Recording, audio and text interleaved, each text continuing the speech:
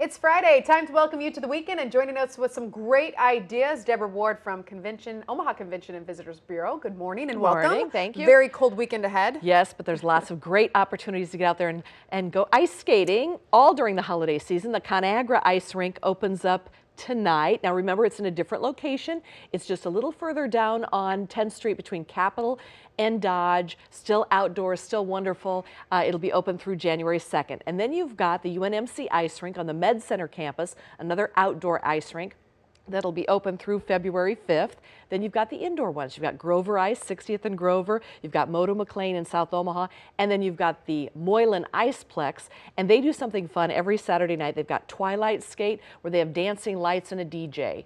So very fun, fun, lots of different places to go ice skating. Yes, and plenty of Christmas celebration with the symphony, right? The Symphony, Christmas with the Symphony um, starts tonight, runs, there's 10 performances. This is one of my favorite things to do during the holiday season.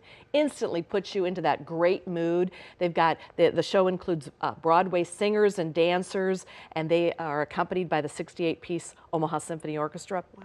They've got dancing Santas, they've got flying reindeers. They even make it snow inside the Holland. And if you've got kids, here's a tip. Bring them just a little bit early to the celebration because they've got real reindeer out in the Holland courtyard. Oh, it's wow. really cool. That is incredible. Yeah. And what's going on in Boys Town? Boys Town's got a big family festival this Saturday, so it's an afternoon filled with free family fun activities, sort of like a giant open house. You can come and go as you please. They've got Ollie the Trolley that runs between four different locations. So for instance, you can stop at the Boys Town Visitor Center and the kids can make holiday ornaments and placemats. You can jump on board Ollie the Trolley. They'll take you over to the Hall of History. They can jump on board a giant Santa sleigh complete with reindeer.